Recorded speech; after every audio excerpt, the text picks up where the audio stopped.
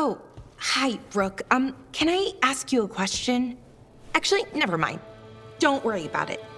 Okay, you're several lines ahead of me here. Let's start with me saying, Hi, Bellara. Right. Okay. It's just, you know, the elf thing. We're fighting our gods. Our gods. It feels a little surreal, and I know surreal.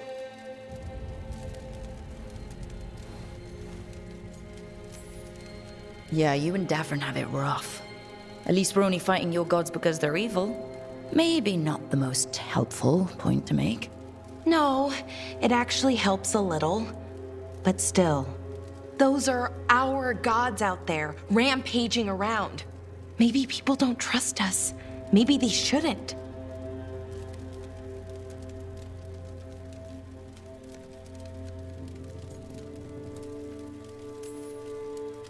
Every culture in Thedas has skeletons in its closet. Orlais, Ferelden, most of Tevinter's skeletons aren't even trying to hide. But that isn't who the elves have been for centuries. That feels too easy. Like we're not taking responsibility. And I don't know, I, I feel guilty. Anytime I think about it, really. So who's that helping? Who's what helping? Feeling guilty. Well, no one, I guess, but then what should I do?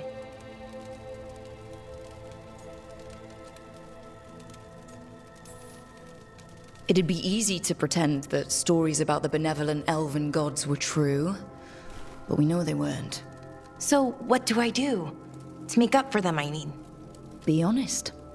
About who you were, but also about who you are now. The past doesn't define you. Is it that easy, though? Just being honest?